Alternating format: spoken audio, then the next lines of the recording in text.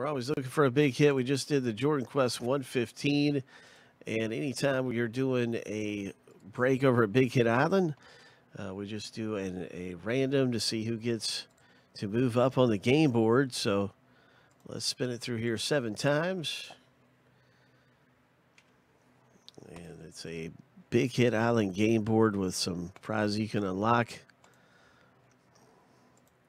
Lucky number seven, uh, Carlos V. Congratulations, moving up on the game board. Big Hit Islands game board. That's fun, exciting stuff. Carlos, way to go in our 115 Jordan Quest game board spot.